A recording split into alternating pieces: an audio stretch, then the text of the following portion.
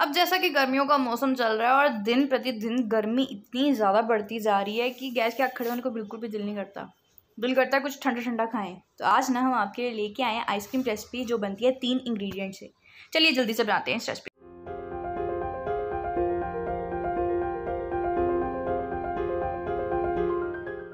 तो सबसे सबसे पहले हमने क्या किया? यहाँ कढ़ाई चढ़ा ली है गैस के ऊपर तो उसमें हम डालेंगे एक बड़ा कप भर के दूध का। हमने बॉयल दूध लिया, तभी तो हमने इसकी मलाई भी इसी में ही ऐड कर दी है। तो दूध को हमने अच्छी तरह से गर्म करना है, उबाल आने देना है। बस एक ही उबाल आने देना है, ज़्यादा हमने इसको नहीं उबालना, क्योंकि ऑलरेडी उबला हुआ दूध आप कच्चा भी ले सकते हैं। तो यहाँ हमने वो दूध उबल रहा है तो यहाँ हम क्या करेंगे? हमने लिए थोड़ा सा बाउल में दूध, उसमें हम करेंगे कस्टर्ड पाउडर को ऐड कस्टर्ड पाउडर किसी भी ग्रोसरी शॉप पे आराम से मिल जाता है। ये forty eight to fifty rupees का पैकेट होता है मैक्सिमम तो बस आप भी लीजिए और ऐसे ही आइसक्रीम बनाइए। तो यहाँ हमने तीन चम्मच इसमें कस्टर्ड पाउडर डालकर इसको मिक्स कर देना है। गाइज़ ये रेसिपी ना जब आइसक्रीम ये बन जाती है, उसको खाने के बाद ना मेरे को तो जब मैं छोटी थी, हम जब गाँव में रहते थे, तब मेरे को वो दिन याद आ गए कि एक आइसक्रीम वाले अंकल आते थे, जो पोंपू पोंपू करके उन बजाते थे, या फिर घंटी बजाते थे वो समटाइम्स तो वो हमें स्कूप करके कोन में डाल के देते थे। तो हम लोग सोचते थे, पता नहीं कैसे बनाते हैं, इतनी टेस्टी आइसक्रीम तो वो बिल्कुल ऐसे ही बनती है।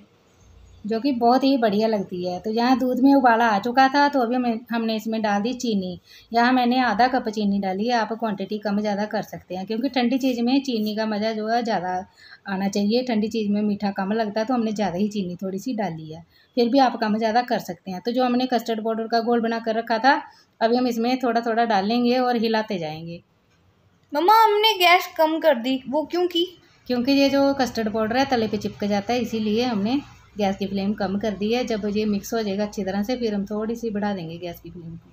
और अभी आप इसको ऐसे पार्ट्स में क्यों डाल रहे हो कम कम करके? क्योंकि एकदम डालेंगे तो वहीं का वहीं जम जाएगा पूरी तरह से मिक्स नहीं होगा ये दूध में। तो ये देखिए देखते ही देखते ये मिक्सचर जो है गाढ़ा होना शुरू हो जाता है। तो बस इसको और पका लेते हैं थोड़ा सा। तो ये देखिए इसको हमने कितना अच्छा ये मिक्सचर इसका बनकर रेडी हो गया तो दे, देख सकते हैं, इसको ठंडा कर लेते हैं। गैस की फ्लेम हमने बंद कर दी तो ठंडा कर लिए। ये देख सकते हैं कितना गाढ़ा हो गया, ठंडा होने के बाद ये। अगर आपका मिक्सचर जो है ज़्यादा गाढ़ा हो जाता है तो आप इसमें थोड़ा सा दूध ऐड कर सकते हैं। तो हमारा मिक्सचर जो है परफेक्ट है तो अभी हम इसको डालेंगे मिक्सिंग ग्राइंडर जार में।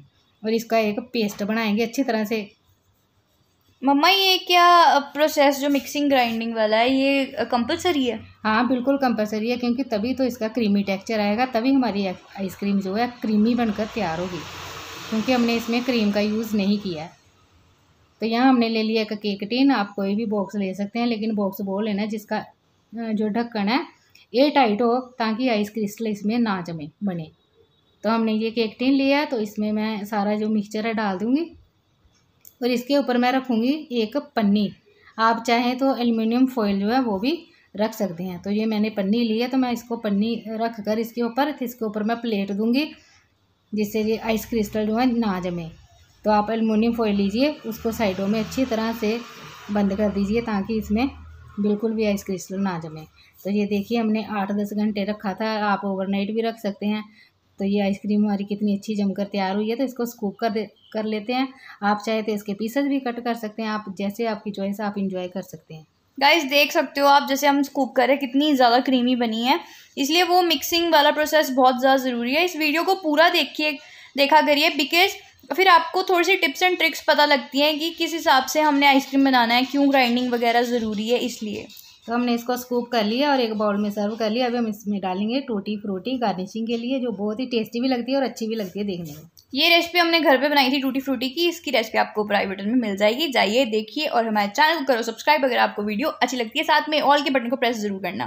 वीडियो को लाइक शेयर भी करना। अभी के लिए बाय बाय